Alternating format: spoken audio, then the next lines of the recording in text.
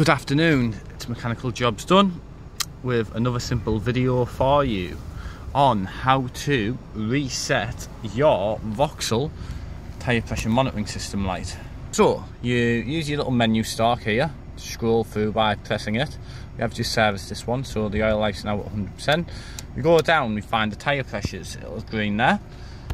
Your tyre pressures to you. Um, they should be displayed as there or thereabouts the same pressure. Um, and we would expect it to be the same.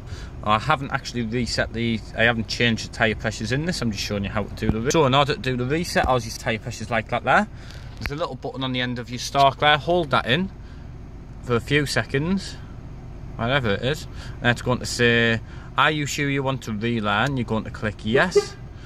And then it says tyre learning active and then once you take the vehicle out after a few hundred meters that is then going to take the light off for you um, thanks for watching. Please like and subscribe and get in touch if you need a quote on anything at all and you're in Teesside. Hi, hi.